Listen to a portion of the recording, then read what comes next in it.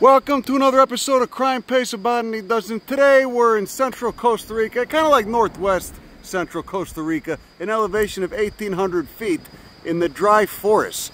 Whole northwest part of the country, over there by Guanacaste province, is dry forest, as you can see right here. It's hot, it's a little humid, but uh, we're definitely in that rain shadow created by the mountains, so we're not getting any of that precipitation that's coming off the warm waters of the Atlantic. And uh, what we're looking at right there is a cactus forest composed predominantly of Marshalla cereus aragonia. You can see it's uh, blue, glaucous, and it's got these nice columnar, uh, these nice columnar stems pointing up everywhere. And it's growing on this, uh, oh, there's a bunch of little guys. Is that what these are? Yeah, those are little guys. They're little seedlings coming up. How about that? Little seedlings of Marshalla cereus.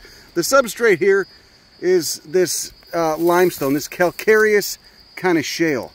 Very brittle, obviously a part of an uh, ancient seafloor. So we got an Aristolochia species right there. Not in flower, it's a pipe vine. But I got some other interesting stuff here too, including an endemic agave species. So let's go check it out. This is Terciopelo territory. There's, there's probably uh, fer-de-lances all over the place here. You know, the one viper species I kind of have no sympathy for. They breed like rats and they're aggressive as hell and generally mean. Let's see what else we got going on. Look, it's a species of Tridax. I wonder if that's procumbens or one of the other ones.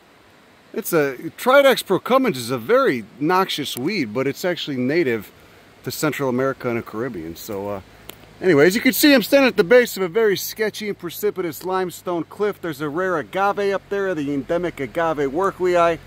There's virtually no way to get up there without breaking my ass, so I'm not going to try, but we're going to lurk around uh, you know, just kind of driving around this whole area, see what we can find. This substrate's really interesting, though. Wonder what the age on this is. Probably quite old. Oh, look, it's Tecoma stans, which is uh, very common in horticulture. Bignoniaceae, the catalpa family. I don't, you know, I don't know who's causing that rock fall, but there's shit falling down all over the place here. I don't know what's going on with that. I didn't see no animal. Maybe there's a monkey or something up there. Yeah, absolutely no way of getting up there. It's beautiful though, it does look very interesting. See, there's another agave species right there, a different one. Wercklei though has those glaucous broad leaves. And then there's that Marshallocereus right next to it. Which used to be in the genus Stenocereus. God, they, they all look like they got some beautiful blue wax. I, I live for the wax. I live for the, the glaucous wax and some of these, these succulents. Now, a little further down the road, we're still at that sketchy, crumbly limestone, which is about the only place that this agave is going to be able to grow, being that it needs full light and probably doesn't want to get too deeply shaded out by the forest canopy. But uh, there's no sign of it. Lots of weeds. Got some Plumeria rubra. What is that? Is that, uh, I can't tell what this is up there. Is that balsa? Yeah, I can't tell. It's a lovely day out nonetheless, and nowhere near as hot as you would think it would be. Not as hot as where I live, in South Texas. Yeah, there's no way I'm going up that shit. That's sketchy as hell. I do love limestone, though. It's more like a limey shale. Well, that's uplifting. Someone's got an old school bus. Is that an old hippie bus or what? Where, where'd that come from? How you get one of those? You can purchase them on eBay or something. Yeah, I don't see any agaves up there. But definitely those rocky outcroppings seems like the kind of habitat. I mean, that's where the other ones were. Who knows what's up top, though? A lot of crotch rockets. You know, the local uh, off-roading community is strong here. We got Bursera simaruba, massive Tecoma stans. It's the dry season. God, it looks nice, but the, you know, the fer-de-lances they got me a little spooked. I just met somebody whose dog just got bit. Very aggressive snakes, supposedly. Oh, there's the native Hylocereus way up in a tree up there. Oh, look! Has it got a fruit on it? I can't even tell. You know, I really would like to go up here, but this is just some sketchy rock. This does not seem like it's to hold very well, and I don't want to die, so... Well, maybe you go up that way. I don't know. Let's see. God, those cacti look good, though. Maybe there's more agave up at the top. Okay, this is workable. I can work with this. As long as we don't see no terciopelos, no snakes. God, that looks nice up there. Look at my little sedan, my little unsuspecting sedan. It's so it's so disarming. Okay, let's let's keep going up this. Let's see what we can do. Honk if you love sketchy limestone. See, look at how the roots so so innocently emerged from that uh, crumbling limestone talus. It looks interesting up there. Holy shit. And these little seedlings are everywhere. Marcella, Marshallocereus. Look at a Bursera simaruba. And that fern looks interesting. Pteridaceae. It, it'll rehydrate once uh, you get some moisture in there. I do love the dry season. Yeah, I don't know. Let's see. Let's see if we can get up this way. Okay, this is working so far. Well, we got Bromelia pinguins and tillandsias, etc. You know, once you get up top, it might chill out a little bit. This is one of the dumber things I've done. There are a lot of interesting plants here, though. You can see I got my poker stick. Because these snakes aren't the kind that are gentle enough to warn you, courteous enough to warn you. But we're going to keep going up. I wonder if there's some cool stuff. Just getting down is going to be sketchy as hell. Oh, this sucks. And it just gets steeper, too. I don't see any... I don't see any way up to those agaves, nor do I see any agave on this side. Look at that Marshallocereus. Very glabrous. And a nice wax right there too. Okay, I'm impressed. Okay, it doesn't branch too much. It's just, it's a lot of green totem poles in this dry forest. Oh, look, there's a plumeria right there. There's a bunch of plumeria. Those white flowers. Beautiful species, though. Columnar green. You can see the old, where the growth stops, probably for the dry season those white striations of wax. You know, I'm sweating like a pig. I got four hours of daylight left. This is not worth it. I'm going to go back down. We'll see if we can find this species in the uh, northwest part of the island. I really do want to see this agave. You got a Furcraea up there I can see. All kinds of cool stuff. it's a lot easier going down. This stick was a good idea. I got it just for the snakes, but it's nice for the hiking too rooted in. Look, these cacti are the only thing holding up this entire cliff. The roots of those cacti. Now, what the shit? How do I get... It? Which way did I come? I'm to walk over so I...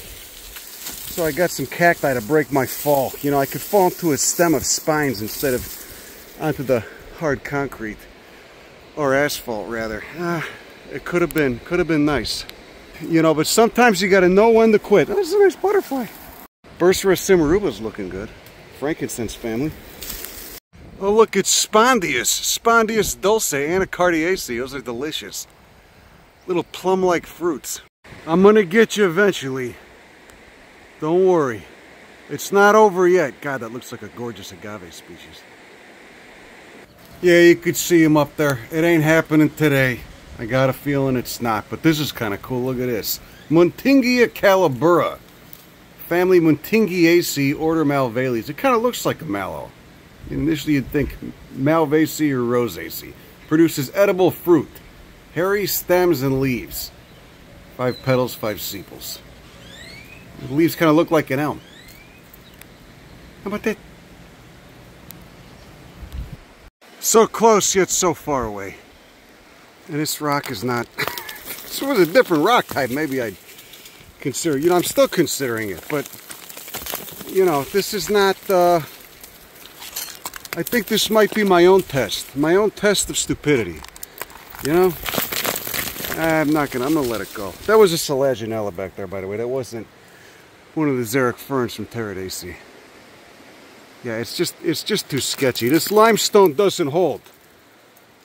God damn it. I'm gonna just have to let this one go. It's not often you gotta do this, but sometimes you do, you know, if it means not dying. It's alright, okay. All right, I'm letting I'm letting it go. But the population's here. I marked it on a map, put it on iNaturalist. Maybe others can try to kill themselves to get an agave species that's by no means uncommon. Anyway, that's all I got. Have a great day. Go fuck yourself. Bye.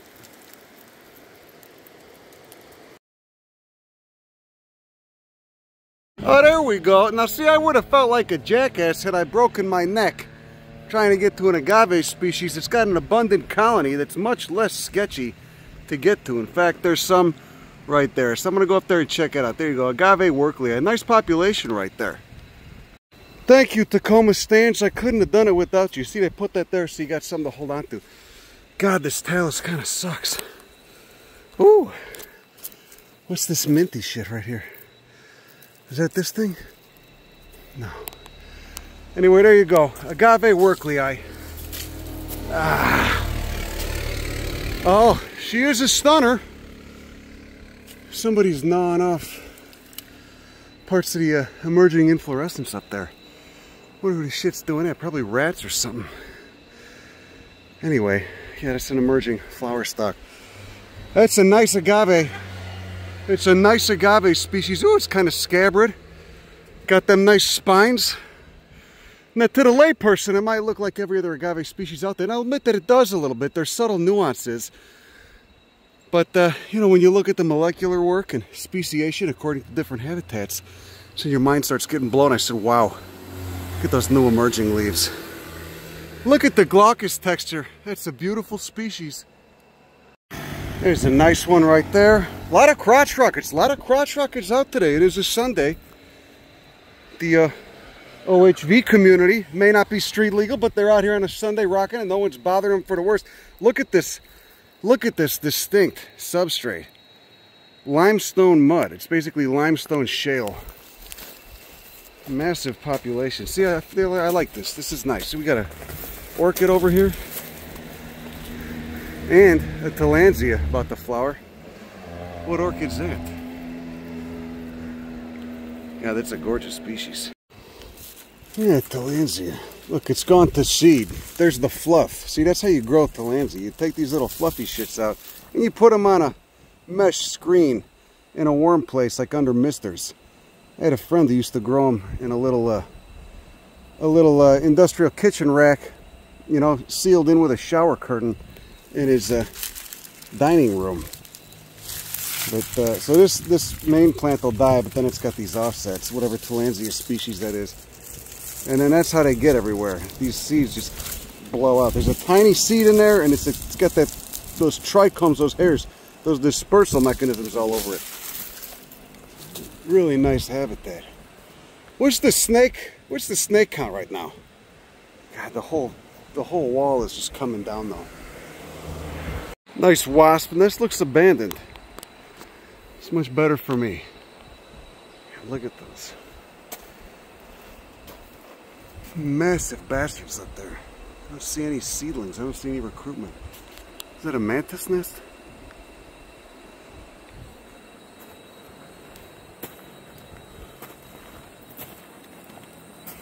How long has it been since you were at the bottom of an ocean?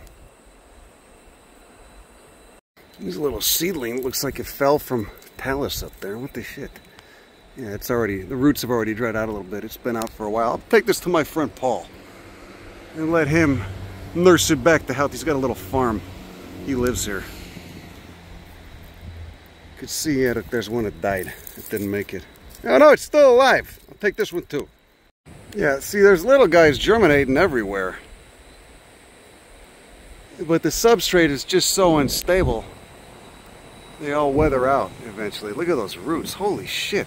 That's not from the agave. No, that's from that uh, drought deciduous mimosoid tree up there.